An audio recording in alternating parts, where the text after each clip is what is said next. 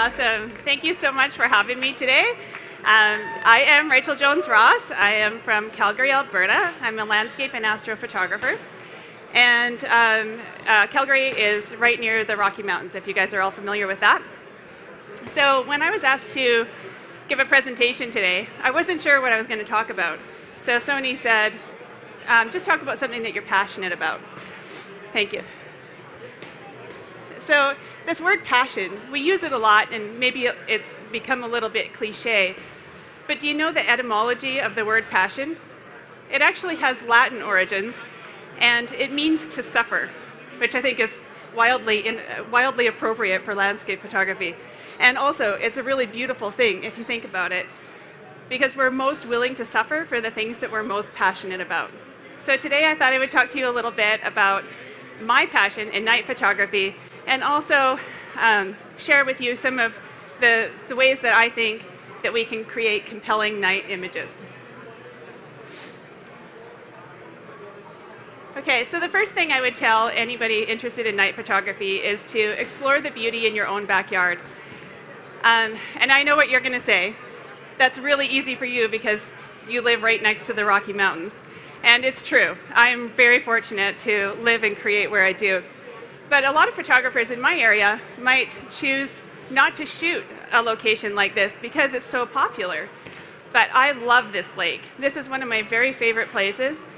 Um, it was a place that I went to to um, when I was first learning night photography. I'd go here to practice. And now it's one of my favorite places to teach at. And I think the more time you spend at a location, the more intimate your knowledge of that location becomes. And, um, and that helps you to create something compelling. So I'll tell you two things I learned about this location. The first thing that I learned is that the light here is magic. It's really, really unique. Because the light from the town of Banff, it reflects off those mountains and it creates this beautiful otherworldly glow, this sort of ethereal look that I think adds a certain amount of magic. And the second, perhaps more important thing that I learned about this location is that it's full of leeches. So I learned this the hard way when I was doing uh, an engagement shoot. Um, I had a couple standing out on the edge of the dock, and, um, and the best place for me was to be in the water facing them and I shot for about 45 minutes. And when I came out, ready for a break, ready for everybody to get warm, I had four leeches stuck to my ankles, which is, I can't tell you how distressing that is for a person who's got a severe worm phobia. Um, so luckily, my clients were very, very kind, and uh, on their break, they ran to the store and got me some cling film, you know, the saran wrap, so I could wrap my ankles up protect me from the leeches. So I went back in the water, which is even more distressing than coming out with four leeches on me. And um, I managed to finish the shoot. And when I did get out, I still had two leeches. Um, so knowing a location and really experiencing it is really invaluable for helping you to create compelling night images. So the next thing I would tell you, if you're interested in night photography, would be to shoot what you love. Now there's a lot of things I love about this image, but my favorite thing is that this is a picture of my daughter. This is my daughter Brooke. And last March, she fell and she shattered her ankle. Um, the road to recovery has been very long for her. Um, and at this point, at this day, on this adventure, she had been four months post-recovery, and she was really nervous about getting out and being on her ankle. So we had to traverse a, a long stretch of beach that had really round rocks in it. And for her, this was a huge accomplishment. It was like, it, it helped her to know that she was going to get better. So this was a big night for us. And there, you can't see it, but on the other side of this waterfall is a rope swing. And we sat there during sunset and just laughed and giggled and pushed each other on the swing and had a really great time. So the memory of this night is a really beautiful night for me. And also, if you haven't gathered already, I do love creating night images. So having the Milky Way here with my daughter, it's something that I really love. The editing for this image, though, was next level. So um, you wouldn't know by looking at it, but this is a composite of 28 images. So I started by shooting the shooting Brooke actually during blue hour when the light was still enough that I could get a nice clear shot of her with a nice fast shutter. But at the same time, I wanted um, I wanted there to not be any sort of uh, directional light from the sun. So I waited until blue hour, and then we shot together after blue hour, but this is a blue hour image. And then, because I took an image of her that was really fast, a fast shutter, and nice and crisp, the water didn't look that smooth and, and beautiful. So I had to do a long exposure for the waterfall. And then to get the Milky Way to really pop, I was trying a new technique of, of um, stacking images. So I took short, short exposures so that my stars didn't trail, and then really high ISOs, and I stacked 25 images in a, in a software to get that nice crisp look of the Milky Way. And then I had to begin the process of blending them all together, which was an arduous task. So going back to the idea of shooting what you love, I spent 20 hours editing this image and if you if you know me or if you've met me before you'll know that I don't let a project go until it's done so I didn't really eat and I was not really taking care of myself and 20 hours into this editing process I finally send the image to my daughter and I'm so proud of it and she takes a look at it and she's like I don't know, the colors are all wrong and I don't like the shadows on my face and whatever. And I was just like, oh, come on. So I went back to editing, and two hours later, I finally had an image that we both loved. And so looking back at it, you know, being able to shoot something you love, it really takes some of the sting out of the, the more complicated aspects of either editing or the sting out of staying up all night and being sleep deprived or being cold or whatever the case may be. So shoot what you love. Another thing that I would suggest would be to shoot for the scene. So in an image like this, it's really hard to get the full image in a single shot. So the reason being is that if I were to do an exposure that's long enough for the foreground, my stars are going to start to trail. Um, and the light of that lodge is actually really, really bright. So it makes it difficult to get an image from top to bottom where everything has the right exposure and where everything has the right focus. So you wouldn't know it by looking at this, but that night to get this image, it was minus 30, which is Celsius, uh, which is beautiful, beautiful uh, conditions. When it gets that cold, you get mist coming up off the water like you see here, and, um, and you get frost flowers, and you get things that you wouldn't normally otherwise see when the temperatures are a little bit warmer. So I'm laying on my belly on a snowbank in minus 30, and um, my camera and tripod are perched on that little shelf of ice that you see in the very in the in the very foreground. But it's only about a quarter of an inch thick and it's floating. So every time I go to take a picture and I press the shutter, my camera and my foreground start floating away from me and I have to bring it back.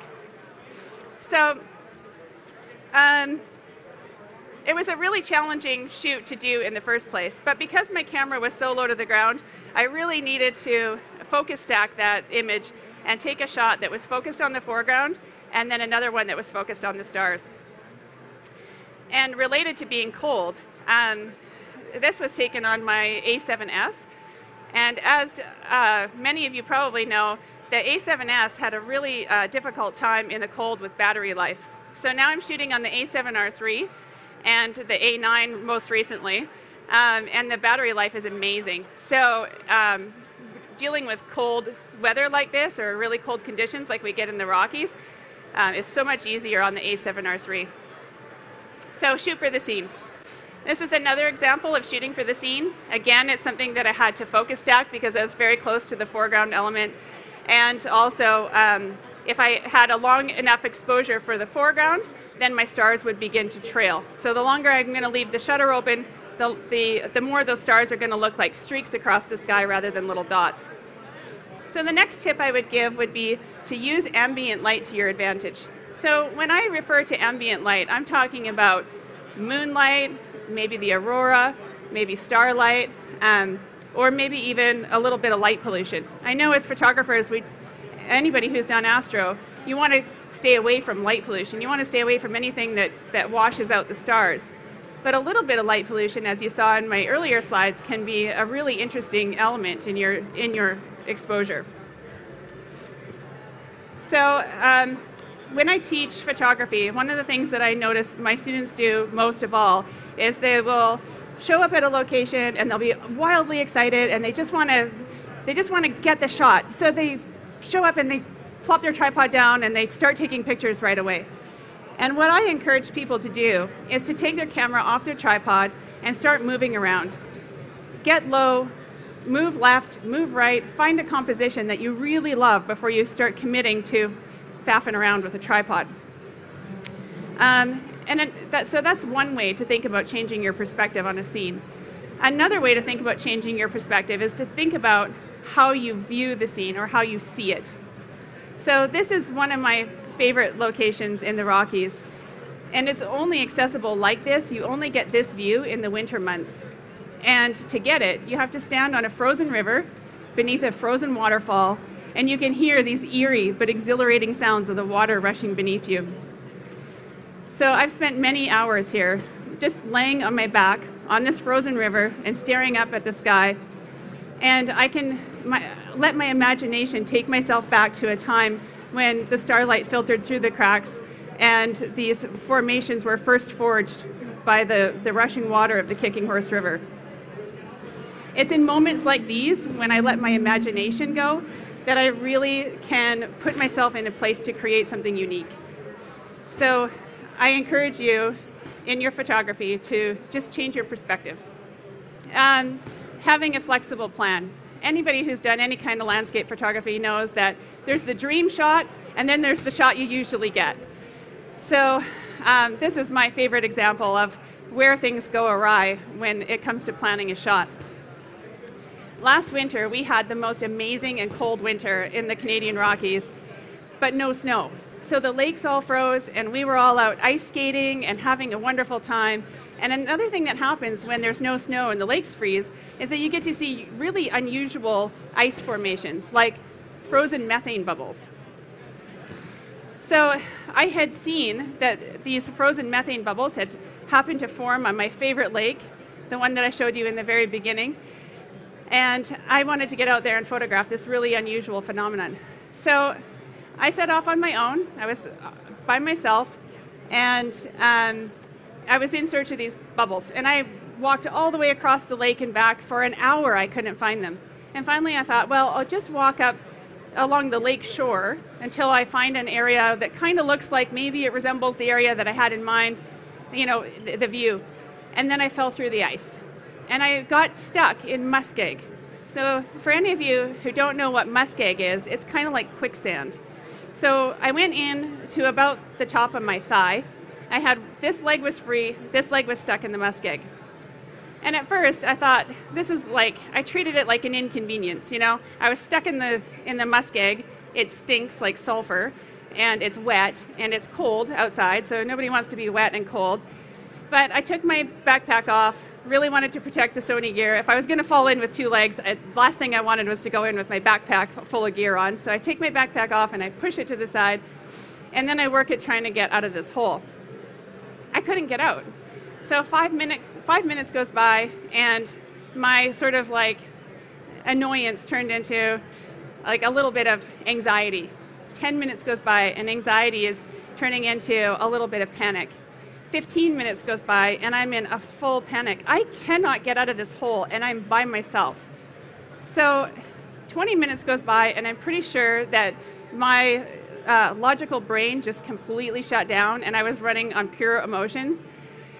And for some reason, I thought to grab my phone. And there is no reason why my phone should have worked at this location. It never works, there's never cell service there, but I was lucky and it did work. I must have been in the one square meter of space where it did work and I was able to get a call out. and the person that I called is my son, who happens to be one of the smartest people I know. And he said, What you need to do is you need to spread your body weight out evenly on the ice. And so for the first time, I thought about laying forward, which was terrifying because that's the deeper part of the lake. And if I was going to go in, and I could already hear the ice kind of like crackling and creaking under the other side of me, so if I was going to fall in, I didn't want to be falling in head first, but this is the only position that I hadn't tried. So I laid the full front of my body down on the ice and put my arms out to the side. And when I did that, I felt this tiny, tiny little gap open up behind my leg. And I knew at that moment that I could get out. And I struggled and I strained and I pulled muscles down the left side of my body. I worked so hard to get out of the hole. But I did get out of the hole, minus a winter boot. So I hobbled back to the car, minus one winter boot, and I was so um, disenchanted. I was so just um, let down that I didn't get the shot that I had set out to get that night. But at least I was safe. So two days later, I went back for my redemption shot, and here the ice had completely melted. My ice bubbles were gone, and this is the shot that I got. I still love it. It was fantastic memory, and I have yet to get my, my perfect image of my frozen methane bubbles on my favorite lake. But maybe this winter I'll get that shot before falling through. So the last point I would say would be to, to um, be creative and to collaborate. So I've been really fortunate to work with some really, really amazing people over the last year. I've worked with students and I've worked with my Sony Alpha family in the collective to create images. And I think that through collaboration, I've grown more as an artist than I have in the last however many years since I started. So if I could give anybody here one piece of advice to walk away with, it would be to, to collaborate with others and be creative. Feed off of each other and, um, and find new ways to explore any type of imagery that you're pursuing. Thank you very much.